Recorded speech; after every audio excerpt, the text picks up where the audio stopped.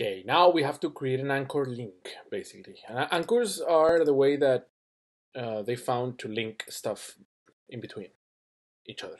So right now, they just want me to do just one anchor link that takes you to Google. Anchors are like this, anchor, anchor. Remember, open and close.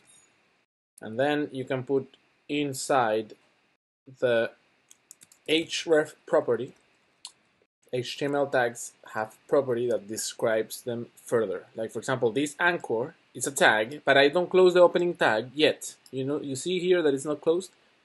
And then I can start adding properties to it, like property one equal to something. Property two. So one possible property that I can use on an anchor, it's the href property. That basically is the hyperlink reference is to where do you want the, the hyperlink to refer to you want to refer in this case to Google because that's what uh, we are being asked for.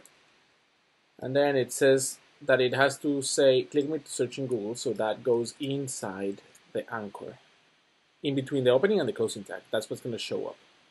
If we run this it says click me to search in Google.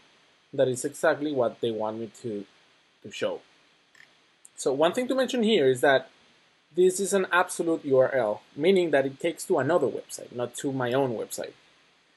You normally use uh, absolute URLs to take to other websites and then a relative that you don't put HTTP or anything like that to take to your own website. Like for example, if I just say slash Google, I'm saying that I want to take to my own website to the google.com folder. If you can see it like that, like you can imagine it like that. It's it's like you're having subfolders in your website and you want to take or to different URLs, but within your same domain name.